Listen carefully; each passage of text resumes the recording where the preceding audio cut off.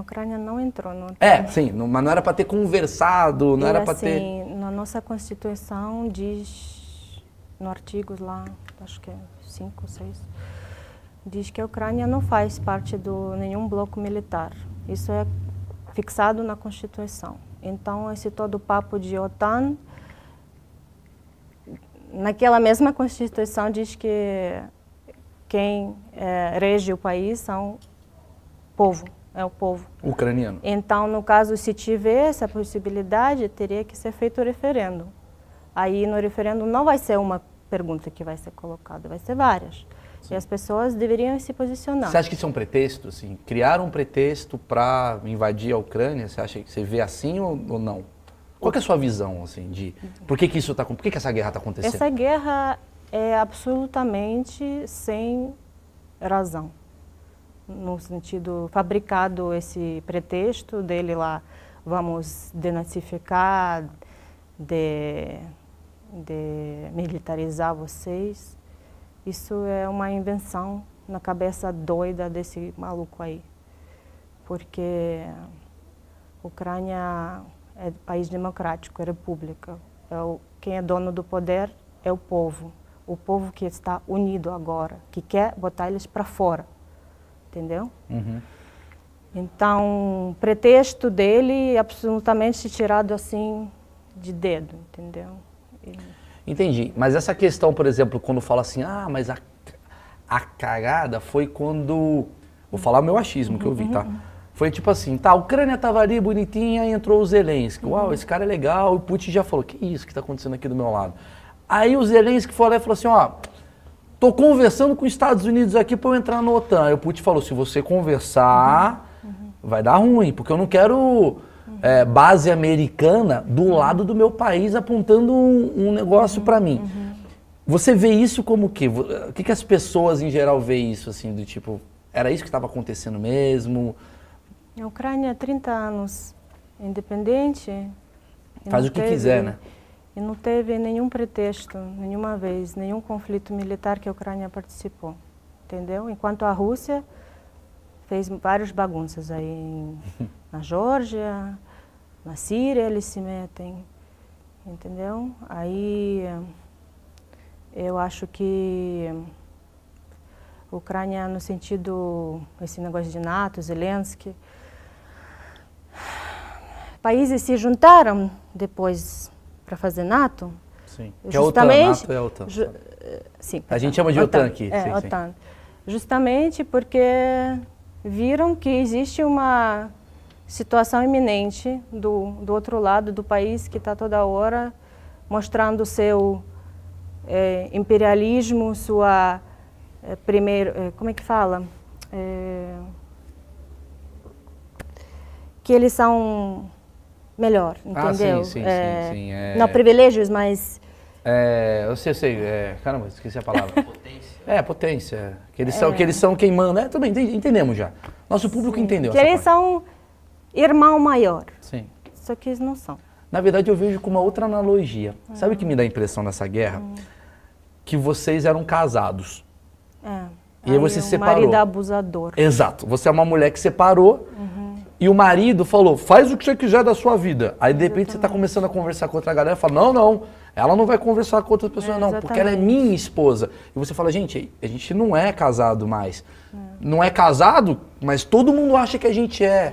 Cuida... É meio isso, assim, burramente falando, seria mais ou menos isso que está acontecendo? Sim, sim. Tá. E por outro lado também eles estão, quando tu põe sanções neles, eles falam, tudo bem que McDonald's está saindo, a gente vai comer nossa batata, entendeu? Entendi, entendi.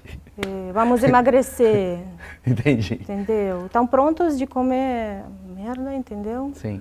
Como é que está o povo russo? Só porque o chefão lá... Sim, sim, manda. Isso que eu queria saber. Ainda bem que você tem essa visão. Eu vejo que você tem, você tá com a raiva, né? Eu tô. Eu sei que você tá, tá bom. E eu, é, eu acho, eu acho compreensível. É. Mas você, por exemplo, uh, você entende que é o Putin, que é um cara que está uhum. em cima. Como é que é o seu... Imagino que você deve ter tido amigos durante esse tempo todo russos. Uhum. Né? Porque vocês são próximos Sim. e você cresceu, Sim. seu próprio pai, né? Nasceu ali. Sim. Você deve ter um primo, uhum. um primo chato que é da Rússia, aquela coisa toda. Temos. Então, Isso atingiu vocês familiarmente? Amizade? O russo não fala mais com o ucraniano? Ou, ou você vê que o, o russo tá assim, cara, que merda que tá acontecendo? Eu amo vocês e eu tô do lado de vocês. Sim. Mas é o cara.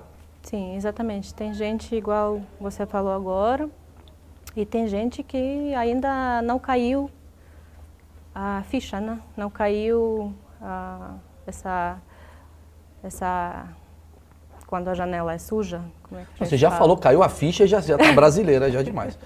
caiu a ficha é um... É, que ainda não, não, não saiu todo, essa, todo esse algodão. A gente às vezes fala algodão. Tá. Então, que é a propaganda deles lá. Qual que é a propaganda? Eu não entendi. Como é a que é propaganda, a palavra que a gente usa aqui no Brasil para fazer anúncios. Sim. E lá a gente fala propaganda algodão. no sentido... não é de algodão, no sentido... Fazer a propaganda no sentido...